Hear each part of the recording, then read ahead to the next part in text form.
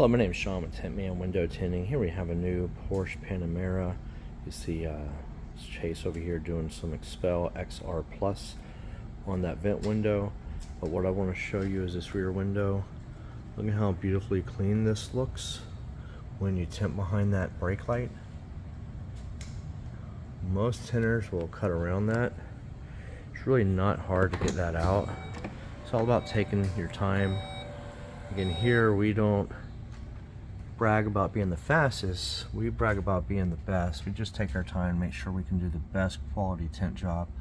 So all you have is three 10 millimeters that you just have to unscrew there, and then that just slides off. You don't even have to take it all the way off. Um, again, most people will just cut around that, and then it just doesn't look as clean. Just nice when you have one clean sheet of film.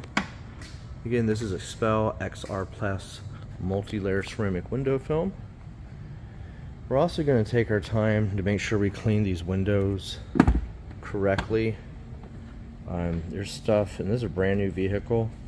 There's stuff all in here. So what we do is we're going to take some Spray-Away here and then we just let that foam up really good in that gasket and we take what's called Adobe scrubber scrub it real good and then get the microfibers and clean that all out. So we'll do that before we even roll out the window and start cleaning the window itself. Here we have Xpel XR Plus 45 on the whole windshield. It's a beautiful film, rejects 97% of the infrared heat, 99% ultraviolet rays. I just installed it so it's still a little cloudy until it dries, which takes about seven days. Now this particular vehicle comes with the film already in the glass that is blue. So when you put the plus on top of that uh, it's a little more noticeable.